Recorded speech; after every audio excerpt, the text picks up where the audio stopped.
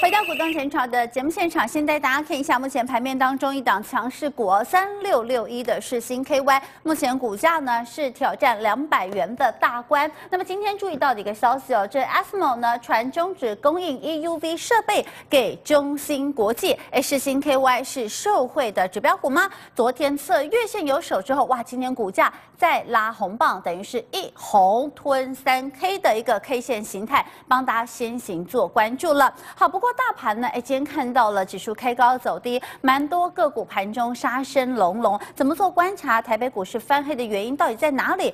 能不能把它视为是短线休息，有机会整理再攻？来为您连线抢到是华冠投顾谢宗林分析师，宗林哥好。哎，听众好，观众朋友大家好。好，宗林哥，当然今天台北股市早盘的翻黑，市场整理了很多原因哦，包含了是白宫跟外部顾问反对中美之间分阶段取消关税，还有刚刚美方施压说 ASML 极紫外光设备。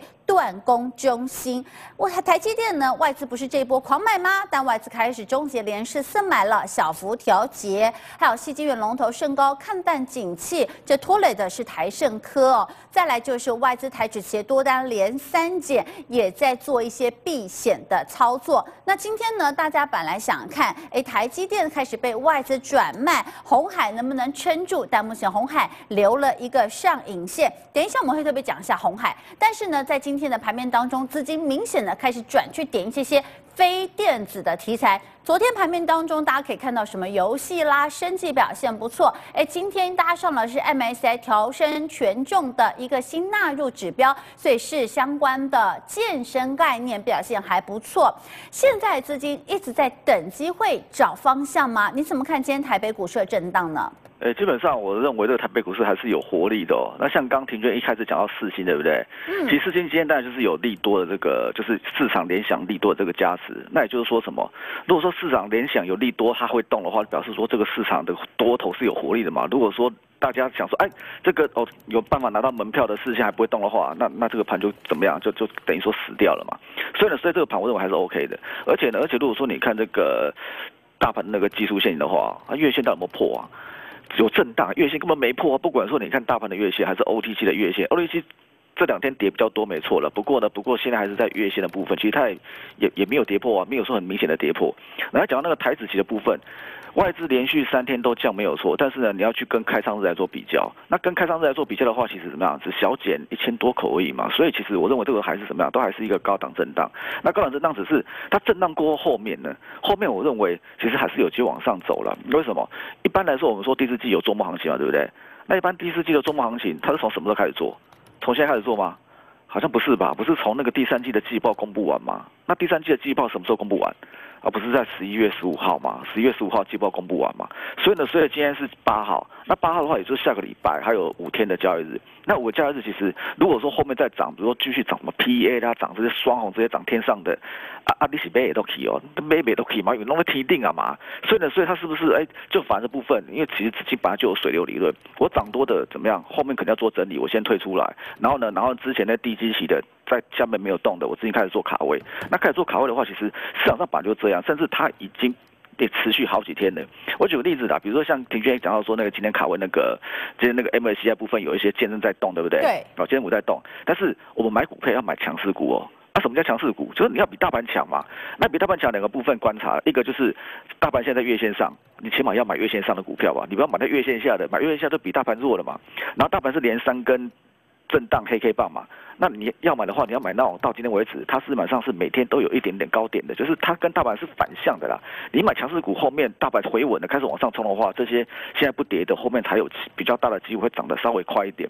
那我们从这波来看的话，比如说那个今天我 MSCI 部分有有利多的，比如说乔山博文、今天工厂，其实你一直一直一直一直去看的，比如说我们先看那个利三好了，利三今天涨最多哦，涨了六趴多，但是它跟大盘比，它算是算不算强势股？其实，它它月线好像刚刚摸到而已呢，就是它这是往下掉，修正一大段了耶。对，修正一大段，今天刚摸到，那其实就月线的部分呢，它还没有翻阳。那我会认为说，其实它月线的位置在八十三点。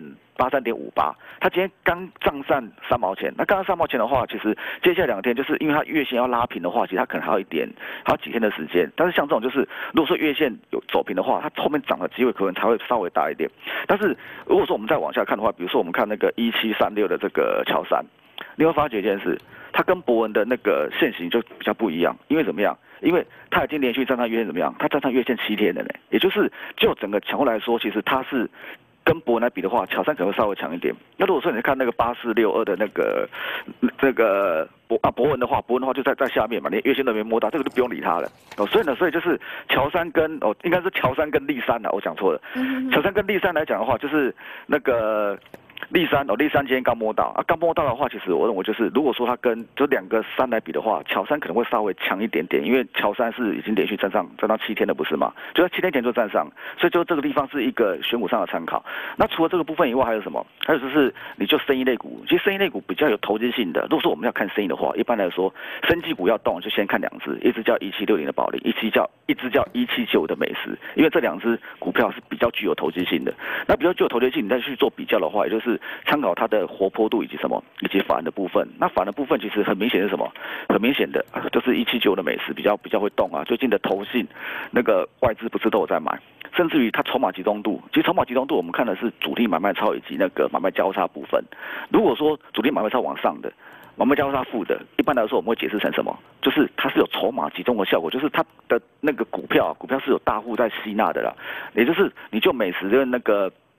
保龄的部分来看，其实美食筹码跟那个筹码集中度是相对于稍微好一点的。所以如果说就这部分来看的话，啊美啊美美时间最高一零九点五呢，大盘好像还在那跑跑跑修嘛，它是每天都在创新高的嘛。那除了这个部分还有什么？资金还要转到那个车用的部分。其实车用部分有一只在在低档的六二三八的胜利啊，这个慢慢的每天勾一点勾一点勾一点勾上来，其实今天也是什么样？最高一五三嘛，也是跟大盘是反向。像这种就是跟大盘反向，然后有筹码集中效果的，我认为都可以留意。好，那么东林哥，另外带大家看一下，因为大家还是想知道的是哦，红海这一波都是外资哦，这一波拱上去，而且是外资赚到了甜头。如果大家去看一下融资的话，哎，红海。涨到创高哦，但红融资却是在涨的过程当中一路的往下滑。那红海这波利多消息真的很多，外资连买之外，其实营收表现也都很亮丽。外资在进行上修红海的动向，也有蛮多的一些呃基本面题材，包含红海的半导体在大陆的进博会亮相，看起来也要做跨足相关的领域，到底是不是整体体质在转弯呢？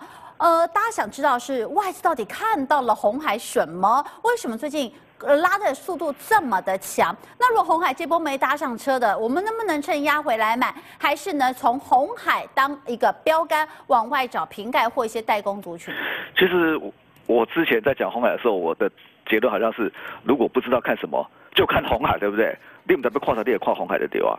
那其实我到今天为止，我的看法还是一样啊，因为我不知道大家有没有观察到，今天的合硕在涨，对不对？嗯。合硕做什么的？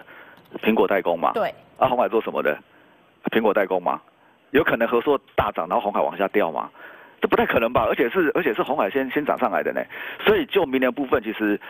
苹果就明年的手机，五 G 手机看得很好，而且呢，而且其实现在已经在下明年单了。现在下明年单是加量十趴左右，已经加量十趴了。那如果卖的好的话，会加更多。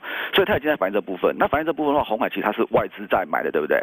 如果外资没有停手，它就是继续涨而已啊，就是继续震荡继续涨。所以，所以像田天刚讲到说的那个压回早买点啊，它没有压回怎么办？你只能震荡早买点，它就它就是震而已啊。所以观察这只股票，我认为就是你从外资不能来做观察。外资只要没有停手的话，其实就是有震荡的时候，我认为如果说你是多方操作的话，你就可以多留意参考。好，非常感谢钟林给我们带来在目前盘面当中的一个掌握跟观察了。